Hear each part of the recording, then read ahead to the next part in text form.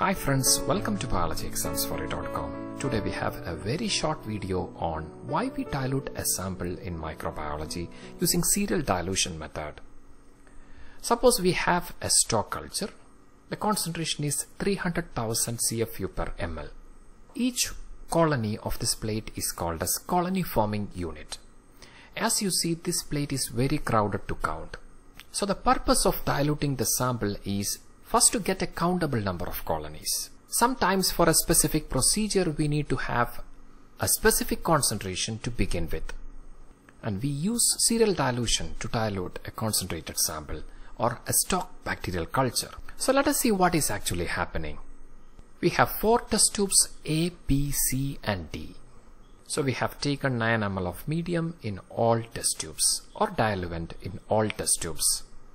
First, we are transferring 1 ml of the stock culture to 9 ml of test tube A. Now, what we did is we have diluted the sample 10 times. That is 1 by 10th dilution.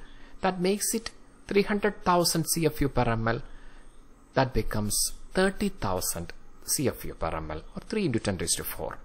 Mix well and transfer 1 ml to the next test tube that is test tube B to the 9 ml of test tube B. Now we have further diluted 10 times. So total dilution from the stock solution is 1 by 100. Therefore, the CFU will come down to 3000 CFU per ml. Suppose this is a colony that we got after culturing these from the test tube B. This is overcrowded. So we are further diluting it from test tube B. We are transferring 1 ml to test tube C. Now 1 by 1000 dilution, 1000 times diluted compared to the stock culture. That becomes 300 CFU per ml. So we get a countable number of colonies. Mix well from test tube C we are transferring 1 ml to test tube D of 9 ml diluent or medium. So we have further diluted 10 times. So from the stock solution we have diluted 10,000 times so that the colony forming unit per ml becomes 30. So an easily countable number.